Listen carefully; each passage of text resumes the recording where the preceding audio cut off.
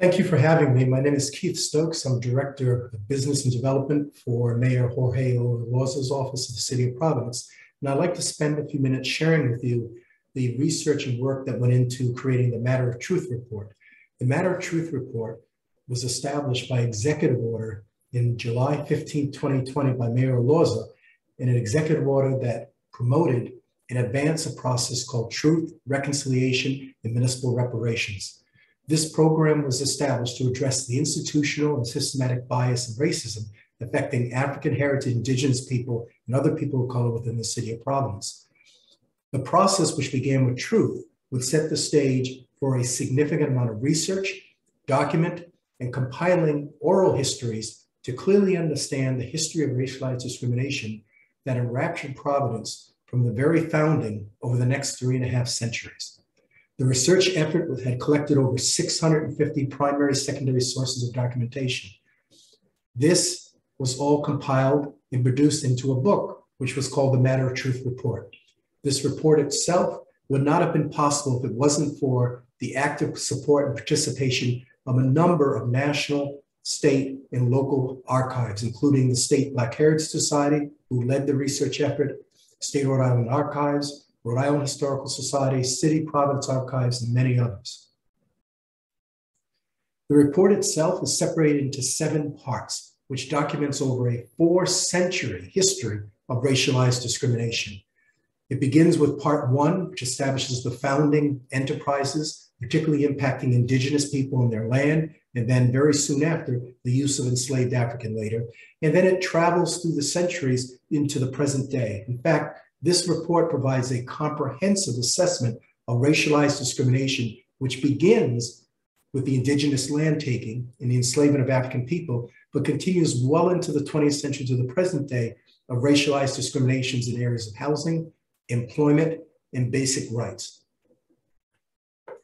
The first part of the report begins with a very detailed description of the early settlement of Providence. In fact, few people would realize that between the years 1616 and 1619, during the times of the first European settlement contact of the Americas, there was a significant pandemic, not unlike the pandemics that we're facing in the present day.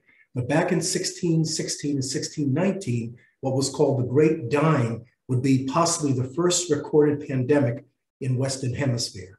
This pandemic, which brought European diseases to the New World, would impact a large percentage of the native populations from coastal Maine to coastal Cape Cod. During that time, scholars have found that nearly two thirds of the indigenous populations who were living along the coastal areas of the Atlantic coast had succumbed to disease in only several years. It's important to recognize this because as Europeans arrived and as they landed, uh, would clear the way for them to have direct access to land, and most importantly, would give them the ability to not only settle, but expand upon the land and use the land for their own purposes. Very soon after, in the 17th century, by the middle of the 17th century, as wide swaths of land are available for colonization, for development, uh, and for certainly prosperity, there's a need for labor, and particularly free labor. So by the early part of the 17th century, at least by 1650, we now see Africans being brought to Rhode Island for the explicit purpose of being the free labor to work on land. So when we begin to think about the very settlement of early Providence or New England or anywhere within the Western Hemisphere, there are two very basic driving premises indigenous people land and the use of enslaved African people labor.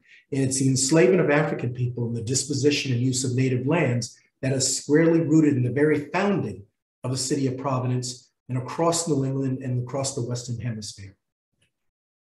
The report also goes into detailed information about the very establishment of the early African arrivals. In the report, we've been able to document that between 1705 and 1807, commonly called the Golden Age of Rhode Island colonial history, there are at least 934 documented slave voyages that tie Rhode Island merchants between West Africa to the West Indies and back to Rhode Island.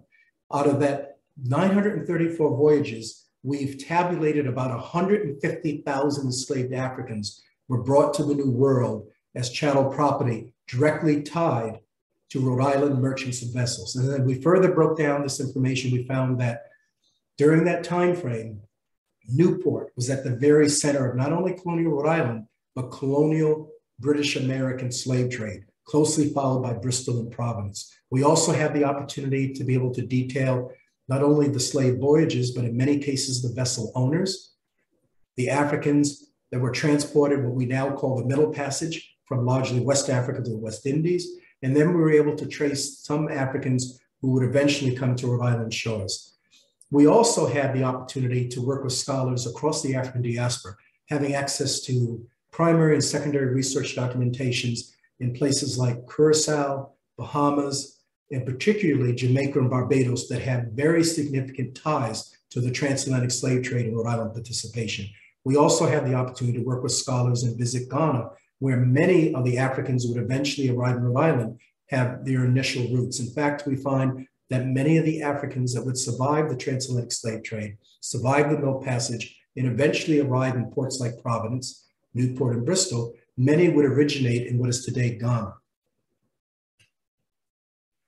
We also begin to understand that as Africans are arriving and indigenous land is being expanded upon, we're also now recognizing in the 19th century that Providence becomes a very early settlement for now free Africans. By the end of the American Revolution, most enslaved Africans in New England, particularly, are now free.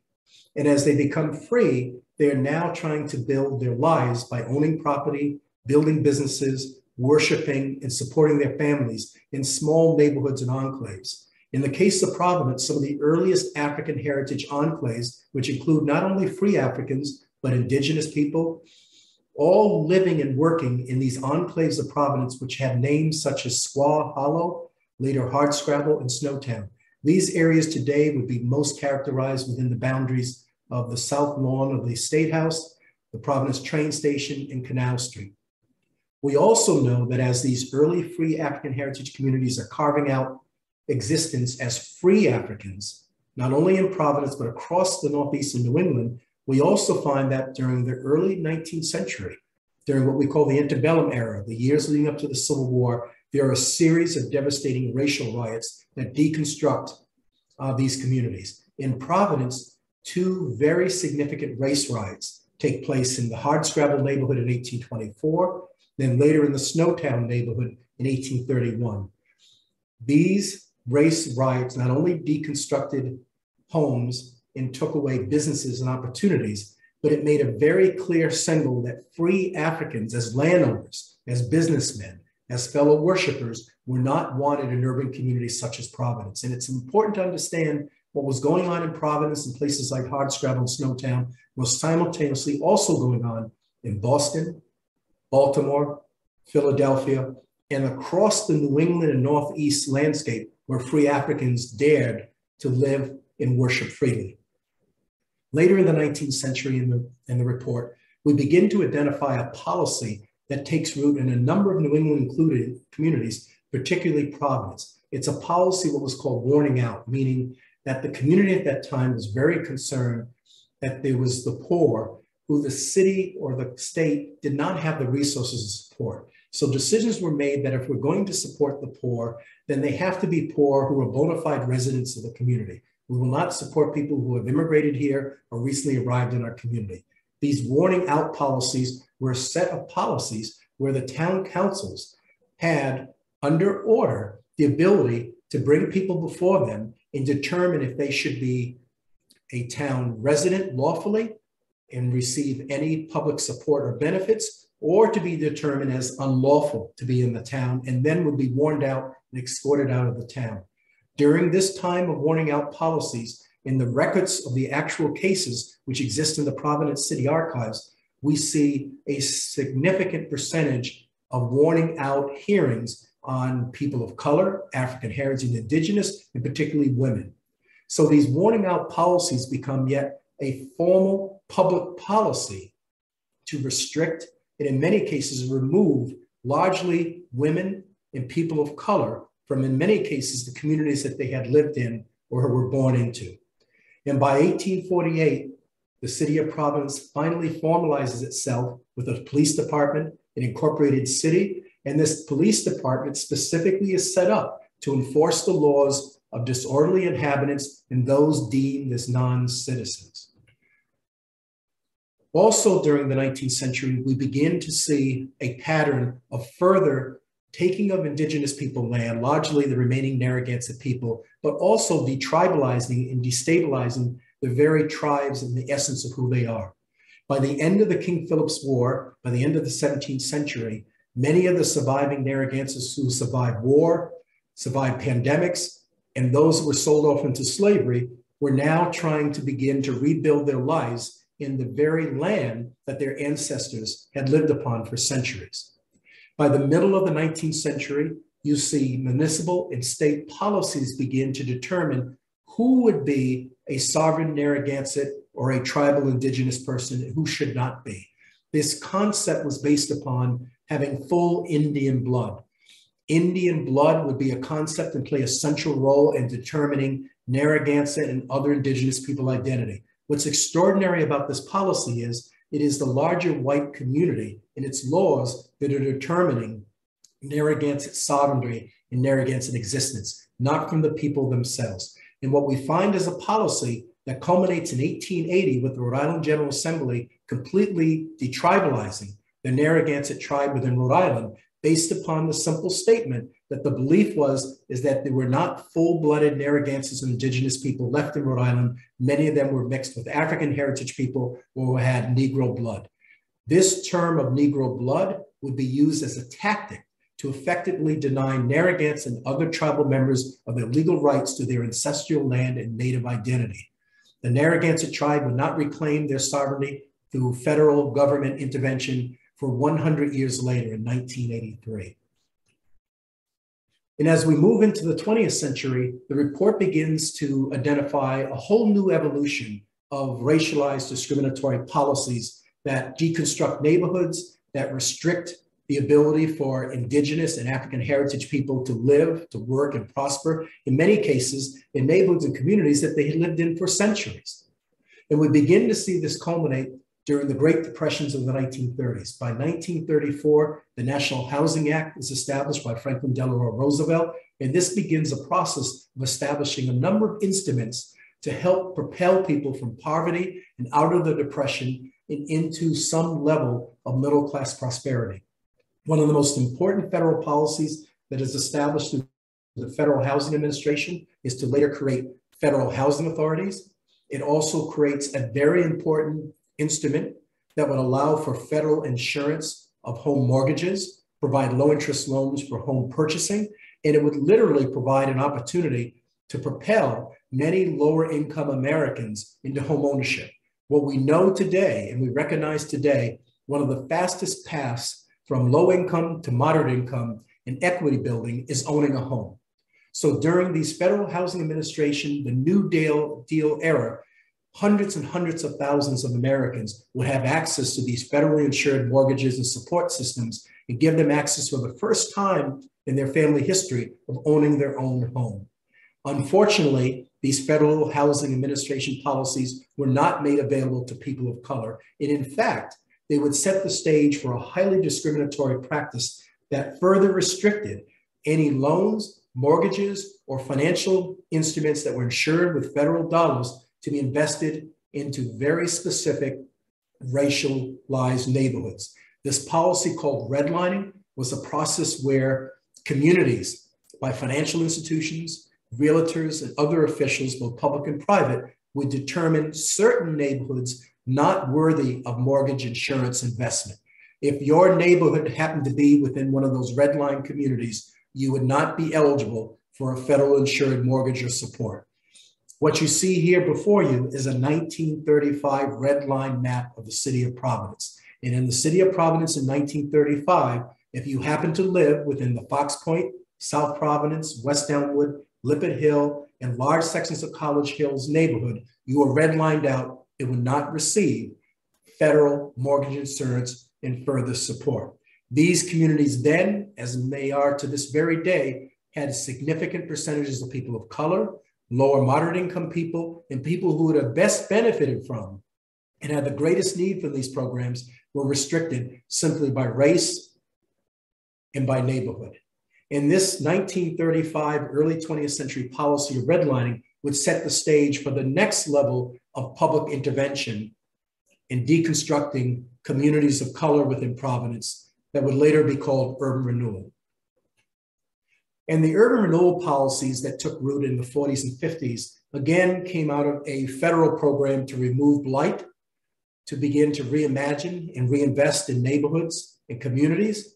The challenge with the urban renewal program, which would establish at the state and municipal levels the formations of redevelopment authorities that had powers of not only acquiring land, but had powers to condemn land under eminent domain for the purposes of urban renewal. This very significant federally initiated and state and municipal implemented policy of renewal had direct and negative consequences largely on historic communities of color. In Providence, urban renewal designated areas included Lippitt Hill, parts of College Hill, Fox Point, Upper South Providence, and the West Elmwood neighborhoods.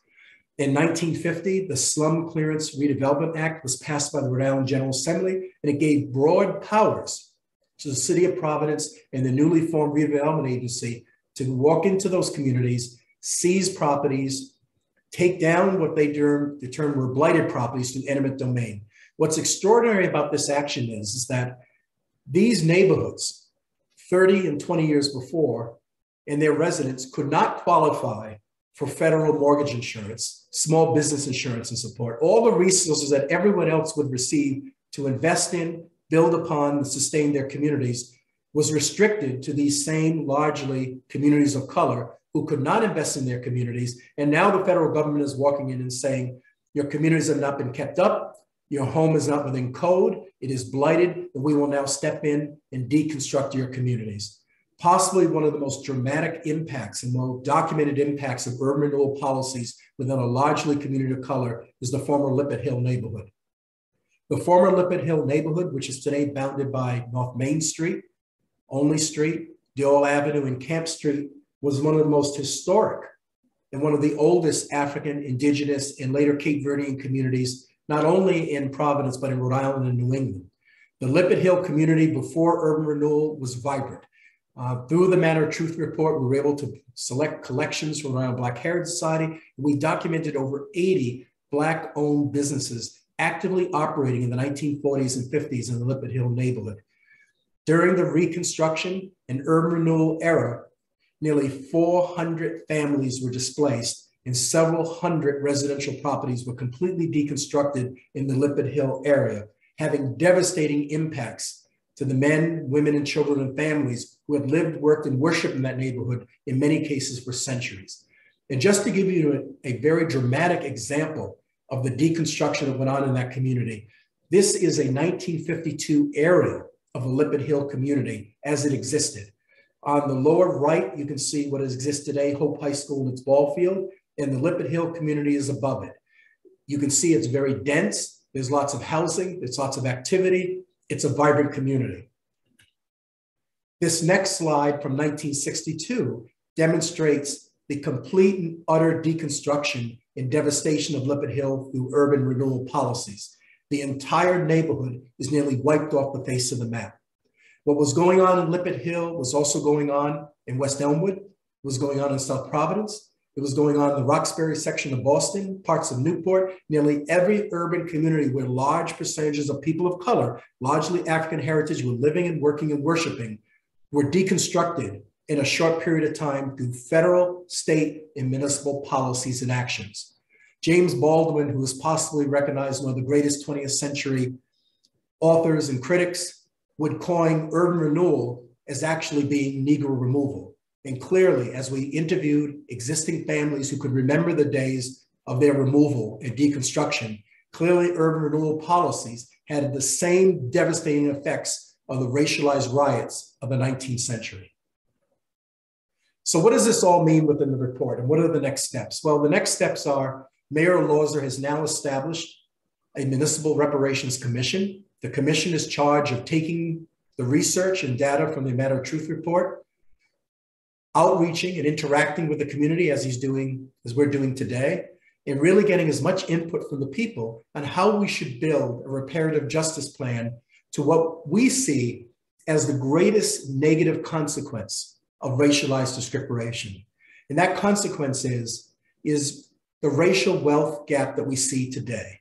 The very fact that racialized discrimination began by the taking of indigenous people land, it began with the enslavement of African heritage people, but it continued through the centuries through publicly sanctioned policies that restricted African heritage and other people of color to the simple benefits of local, state, and federal programs and services that would allow them to build equity, own a home, own and operate a business, have access to equal housing, to equal employment, to choose the neighborhood where they would like to live. All those things that are basic rights for all Americans was reduced or restricted, and in some cases removed based upon people's neighborhood and by their racial identity.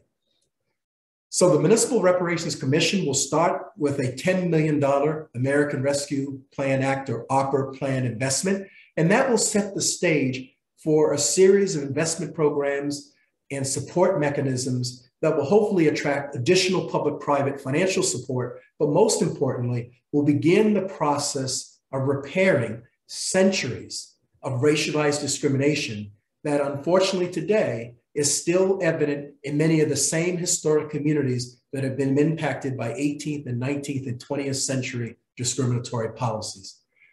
We look forward to working with you on this endeavor. We need as much public input because there is no single path to reparative justice. It's a path best traveled by many. Thank you for taking the time and listening in, and we look forward to working with you on this very important endeavor going forward. Thank you.